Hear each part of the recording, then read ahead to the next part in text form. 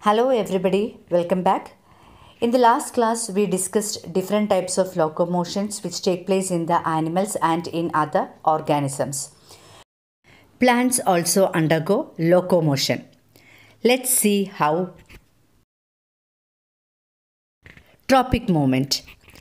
If the direction of the plant movement is in accordance with the direction of stimulus, it is called tropic movement. The tropic movements are classified into phototropism, chemotropism, hydrotropism, geotropism, and haptotropism. First one is a phototropism. If the direction of the plant movement take place in accordance with sunlight, it is called phototropism. Here, stem grows towards the direction of sunlight and root grows against the stimulus. Second one, geotropism. If the direction of the plant movement take place in accordance with gravity, it is called geotropism. Here, stem grows against gravity and root grows towards the gravity. If the direction of the plant movement take place in accordance with the direction of water, it is called hydrotropism.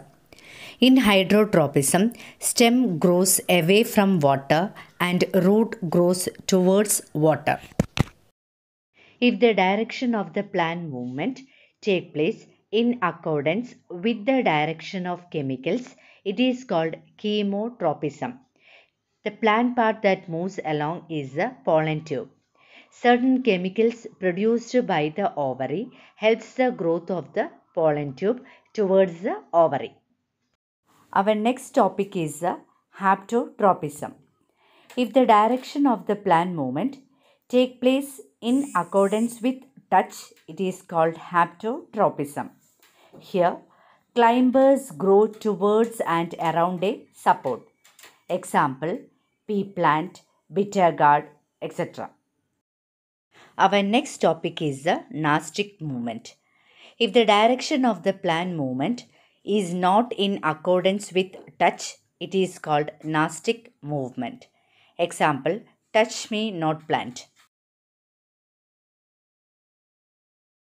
Students, write these activities in your notebook and learn the portions well. Thank you.